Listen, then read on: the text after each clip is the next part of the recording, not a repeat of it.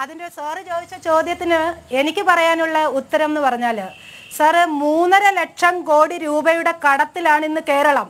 ഇടി വെട്ടിയവന്റെ തലയെ പാമ്പ് കടിക്കുക എന്നുള്ള പഴഞ്ചൊല്ല് അർത്ഥത്തിൽ ശരിവെക്കുന്ന രീതിയിലാണ് ഇപ്പൊ ഈ കേരളിന് വേണ്ടിയിട്ടുള്ള വായ്പ എടുക്കൽ ഇത് ശരിക്കും ഒരു വായ്പ അധിഷ്ഠിത പാതയാ.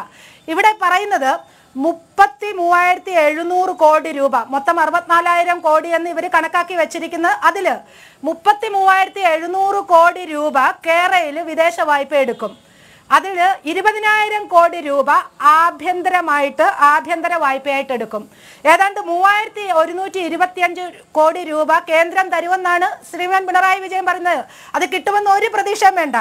അതുപോലെ സംസ്ഥാന വിഹിതം മൂവായിരത്തി ഇരുന്നൂറ്റി അമ്പത്തി മൂന്ന് കോടി. ഇപ്പം ബജറ്റിൽ രണ്ടായിരം കോടി മാറ്റി വെച്ചിട്ടുണ്ട് എന്ന് പറയാം. പക്ഷെ മൂവായിരത്തി ഇരുന്നൂറ്റി അമ്പത്തി മൂന്ന് കോടിയാണ് പിന്നെ പൊതുജനങ്ങളിൽ നിന്ന് സമാഹരിക്കുന്നതെന്ന് പറയുന്നത് നാനൂറ്റി ഇരുപത്തി നാലായിരത്തി ഇരുന്നൂറ്റി അമ്പത്തിരണ്ട് കോടി രൂപ. ഇതെവിടെ സംഭവിക്കും?